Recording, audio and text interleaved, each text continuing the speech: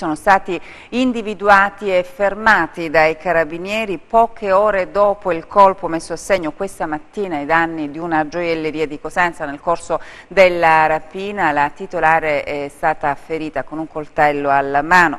Sono stati dunque fermati i presunti autori, si tratta di due fratelli di Castro Libero. Sono due fratelli di Castro Libero di 29 e 25 anni, già noti alle forze dell'ordine, i presunti autori della rapina compiuta questa mattina ai danni di una gioielleria di Cosenza. I due questa mattina sono entrati nella gioielleria armati di taglierine e coltelli da cucina, hanno minacciato il personale e i clienti e si sono fatti consegnare denaro e preziosi. Un blitz all'interno di un esercizio commerciale proprio al centro dell'isola pedonale di Corso Mazzini, durato pochi minuti, che ha terrorizzato i clienti e le commesse della gioielleria costrette ad assecondare il volere dei malintenzionati.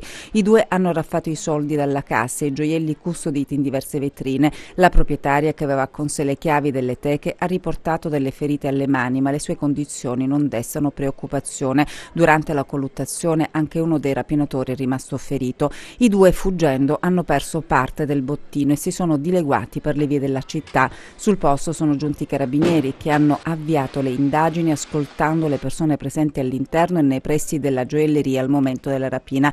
Dalla visione delle telecamere è stato subito diffuso un identikit dei due che sono stati rintracciati all'ora di pranzo in via Popiglia da una gazzella dell'arma che li ha fermati dopo un breve inseguimento. Determinante la ferita sulla mano di uno dei rapinatori che ha consentito di chiudere il cerchio. Parte della refurtiva è stata recuperata poco distante dalla gioielleria ancora intrisa di sangue della mano ferita del rapinatore.